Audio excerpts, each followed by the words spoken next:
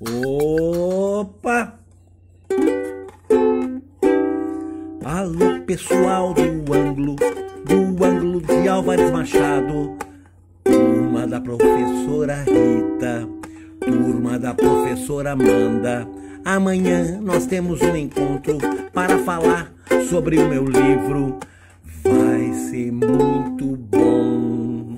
Até lá, hein?